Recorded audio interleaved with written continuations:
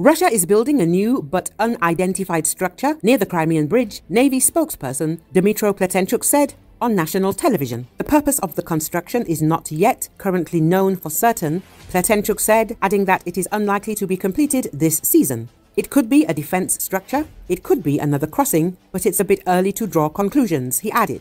Construction on the 19 kilometer long bridge began after the illegal occupation of Crimea in 2014 and was completed in 2018. The bridge connects the Russian mainland with the Russian occupied Crimean peninsula and became a critical supply route for Russian forces after the launch of Moscow's full scale invasion of Ukraine. Pletenchuk said that no matter what the structure is, deteriorating weather conditions as winter approaches will make it difficult to complete. They are constantly trying to place something new in the Kerch Strait to build various hydrotechnical or barrier structures. But periodically they end up on the shore after another storm, he said. The bridge was heavily damaged by Ukrainian strikes in October 2022 and July 2023. Following these attacks, Russian proxies further fortified the bridge with underwater barriers. Russian proxy authorities in occupied Crimea regularly shut down traffic on the bridge amid reports of explosions and drone strikes. According to Ukraine's navy, destroying the Crimean bridge now would not have the same effect now because Russia barely uses it for military purposes anymore. Vasyl Malyuk, head of the security service of Ukraine, did not rule out that Russia may try to use the structure for weapons supplies again after it is fully restored. The Crimean Bridge is currently the subject of a dispute between Ukraine and Russia at the Permanent Court of Arbitration. Speaking there, Ambassador at Large at the Ukrainian Foreign Ministry, Anton Korynevich, said Russia wants to take the Sea of Azov and Kerch Strait for itself. So it has built a great gate at their entrance to keep international shipping out while allowing small Russian river vessels in. He said, adding, the bridge is unlawful and it must come down.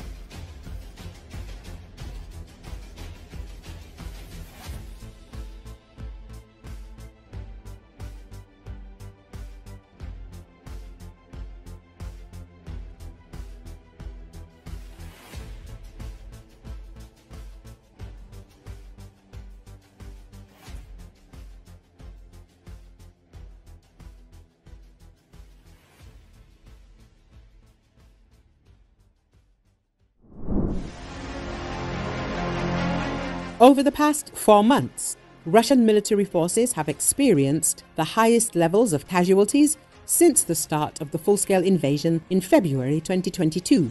Recent reports indicate that Russian casualties, including both wounded and killed soldiers, have averaged over 1,000 per day during this period, the UK Defence Intelligence reports. May 2024 saw the highest daily average with 1,262 casualties. In June and July, these numbers slightly decreased to 1,163 and 1,140 respectively, but the situation escalated again in August with an average of 1,187 casualties per day. As of August 2024, Russia has likely suffered over 610,000 total casualties. This high casualty rate shows no signs of slowing, with expectations that the daily average will continue to exceed 1,000 throughout September 2024. Despite the heavy losses, Russian forces are continuing their operations, with soldiers being frequently wounded or killed. Several recent journalistic investigations have provided statistics showing that Russia's military have suffered staggering losses since launching its February 2022 full scale invasion of Ukraine. More than 70,000 people fighting in Russia's military have now died in Ukraine, according to data analyzed by the BBC. And for the first time, volunteers, civilians who joined the army forces after the start of the war, now make up the highest number of people killed on the battlefield since Russia's full scale invasion began in 2022. Every day, the names of those killed in Ukraine, their obituaries, and photographs from their funerals are published across Russia in the media and on social networks. BBC Russian and the independent website Mediazona have collated these names along with names from other open sources, including official reports. New graves in cemeteries have also helped provide the names of soldiers killed in Ukraine. These are usually marked by flags and wreaths sent to the Defense Ministry.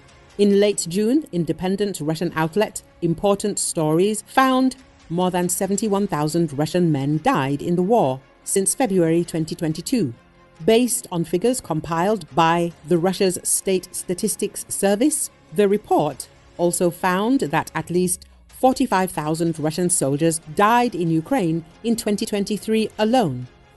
Sergei Krivenko of Moscow based Citizen Army Law, a human rights group, says Russia's aggressive censoring of stats, along with virtually no remaining independent news outlets, means that the rate of casualties is unlikely to sway popular opinion about the war. Krivenko said that while Russia's enormous losses in Ukraine cannot be hidden, with cemeteries expanding in every Russian city and town, it will not force the Kremlin to change course they will only turn up patriotic rhetoric more intensely to explain the growing losses, he said.